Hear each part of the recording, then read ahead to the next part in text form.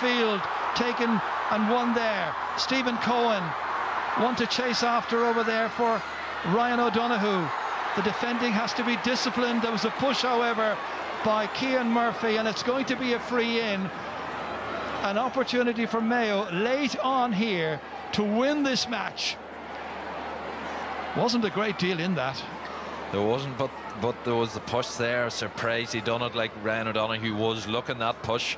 He sort of bent down. There was the wee slowing up, taking it short now. They've gone short across as far as Fergal Boland, and Boland hits it over the bar. Mayo lead.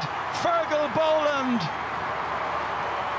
didn't play last year. He's back here. He got three points last Sunday against Galway.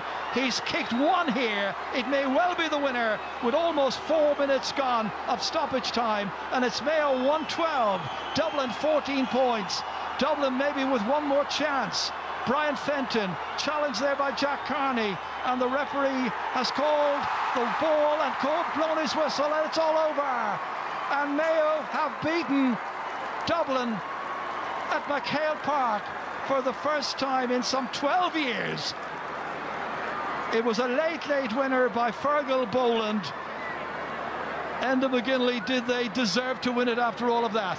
It's hard to believe that they have because Dublin, for me, probably played the better football for the majority. The goal came against the run of play and was fortuitous in the way it came about. But look, they stood at, they stuck at their task. They managed to get the scores at the end. They they played clever. They punched clever. They ran at the Dublin defence and pulled the frees. That pulled them into the game, uh, and they won at the end.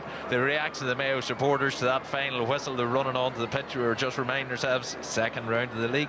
It's the It's second a- round of the league. It's only the second round of the league, but the Dubs have been beaten for the second time. Mayo with two wins, and the final score here reads Mayo one goal and 12 points, 15 points, Dublin 14, Mayo